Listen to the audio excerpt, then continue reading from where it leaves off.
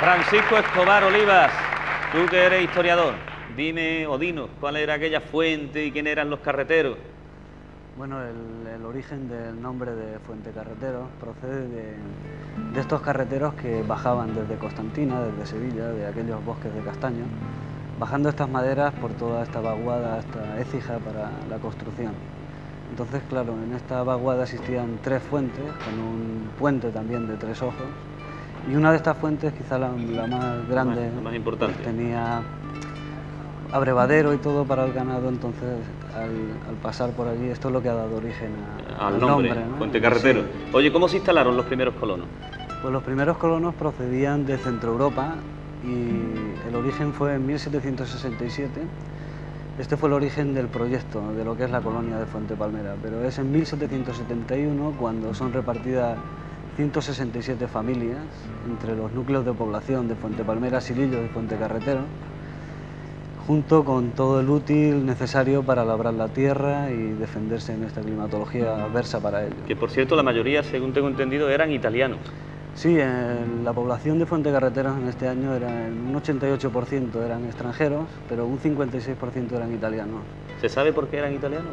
Bueno, no, el reparto de colonos no se sabe exactamente bien cómo fue hecho, ¿no? sino que en este caso eran italianos.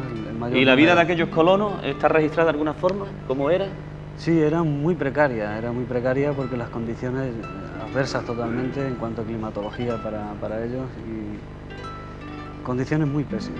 ¿Desde el primer momento se sabe también si se mezclaron con la población autóctona? Sí, aún puede verse hoy en la población de Fuente Carreteros todavía vestigios de lo que fueron estos colonos centroeuropeos, así como alta estatura, eh, ojos azules, pelo rubio. Vestigios físicos y, y en los apellidos me supongo que también. Y apellidos también, como son apellidos aquí hay gente que aún... La, misma abuela, creo que el segundo apellido era Dugo. Sí. Eh, es quizá italiano, ¿no? Aparece... Sí, es Dugo, Rossi, que son italianos.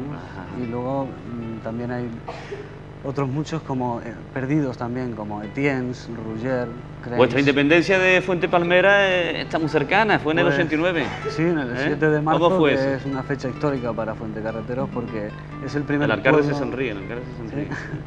Es el, primer pueblo andaluz dentro de los 700 que luchan por, este logro que tiene su propio ayuntamiento ya. Se ha podido independizar este 7 de marzo de 1989 del núcleo matriz que es Fuente Palmera. Muy bien, que este logro siga y se convierta en una ciudad próspera. Alcalde, Francisco, muchas gracias.